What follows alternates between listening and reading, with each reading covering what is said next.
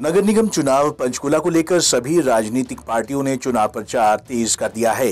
BJP व कांग्रेस के उम्मीदवारों के समर्थन में दोनों पार्टियों के बड़े नेता प्रचार कर रहे हैं तो वहीं प्रत्याशी भी दिन रात मतदाताओं तक पहुँचने में लगे हैं और कई दावे और वादे कर रहे हैं। इसी कड़ी में आज कांग्रेस ने पंचकुला निगम चुनाव के लिए घोषणा पत्र जारी किया। इस मौके पर हरियाणा के पूर्व उप मुख्यमंत्री चंद्रमोहन, कांग्रेस नेता गुर्जर, विधायक कालका, प्रदीप चौधरी, मेयर प्रत्याशी उपेंद्र कौर अहलुवालिया व अन्य कांग्रेस नेता मौजूद रहे। मेरा पंचकुला, मेरा अभियान के नाम से जारी किए गए चुनावी घोषणा पत्र में मेयर प्रत्याशी उपेंद्र कौर की पिछले कार्यकाल के दौरान किए गए कामों को गिनाया गया है। वहीं पिछले ढाई साल से प्रदेश सरकार की वजह से लंबित पड़े कार्यों को भी इसमें रखा गया है। घोषणा पत्र में पंचकूला में स्वास्थ्य स्वच्छता 24 घंटे पानी सप्लाई, शहर का सौंदर्यकरण, सेक्टरों में सीसीटीवी कैमरों को लगाना, पेड पार्किंग को निशुल्क करवाना व अन्य मुद्दों को रखा गया है। वहीं इससे पहले कांग्रेस मेयर उम्मीदवार उपेंद्र कौर आलूवालिया पंचकूला बार एसोसिएशन पहुँची और वकीलों से कांग्रेस को वोट देने की अपील की।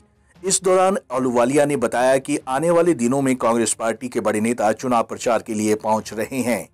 नगर निगम चुनाव की बात की जाए तो किस प्रकार से जो है चुनाव प्रचार चल रहा है आपका और किस तरह से समर्थन जो है जनता का जा रहा है? चुनाव प्रचार बिल्कुल सही रास्ते पे चल रहा है और पंचकुला के लिए विकास के कार्य किया था और आगे कार्य करेंगे। तो जिस प्रकार से अभी बहुत कम दिन बचे हैं भाजपा जो है अपने बड़े नेता यहाँ चुनाव प्रचार में बुला रही है तो क्या मानते हैं इसको लेकर?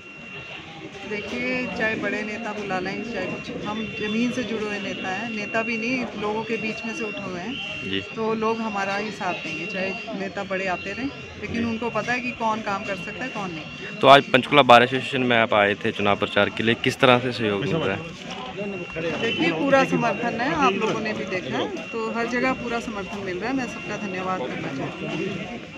कांग्रेस मेयर उम्मीदवार का दावा है कि जनता का उन्हें भरपूर समर्थन मिल रहा है। लेकिन जनता किसे समर्थन देती है और किसे नहीं, ये तो 30 दिसंबर को ही साफ़ होगा। ब्यूरो रिपोर्ट, पंजाब की टीवी, चंडीगढ़।